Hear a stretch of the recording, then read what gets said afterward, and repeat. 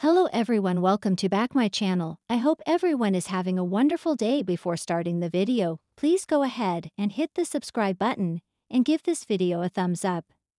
Next week, Coronation Street will provide an unexpected conclusion to Joel Deering's journey. Dee Bailey worries that things are not as they seem, but D.S. Swain declares Joel dead after finding some concerning evidence.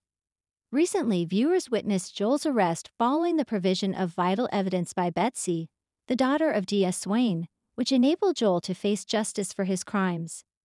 Joel was first freed on bond, but this week he starts acting more strangely, with Lauren Bolton's tracker app revealing that he spends a lot of time in an industrial park and a field. Additionally, the antagonist makes a scary stop at Roy Cropper's cafe, frightening the beloved character when he shows up intoxicated and closes the door behind him. The following week, Joel leaves D.S. Swain with a bizarre voicemail, which Dee informs her about. According to Swain, the message might be read as a suicide note. Joel's phone signal is followed by the police, who locate his last known whereabouts.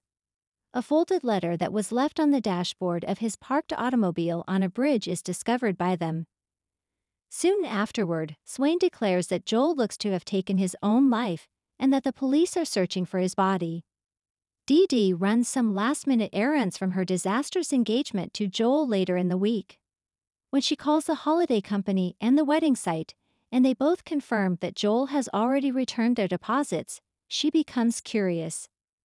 Dee Dee gives police investigator Kit Green this information, Joel's distraught father meets Dee Dee on her subsequent trip to the police station.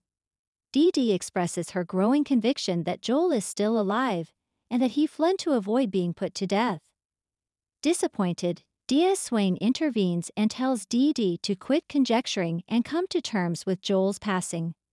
Can Dee Dee hear me out?